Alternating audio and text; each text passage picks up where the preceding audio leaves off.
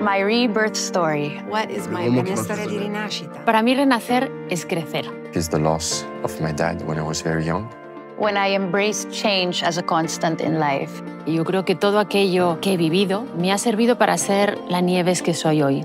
It took me a while to accept that it was okay to be sad, that it was okay to be lost, to do mistakes, to embrace those difficult challenges and to grow from it.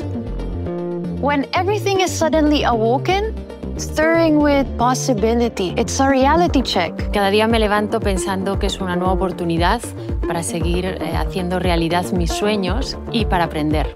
There are going to be struggles and there are going to be challenges, and it's all part of the journey.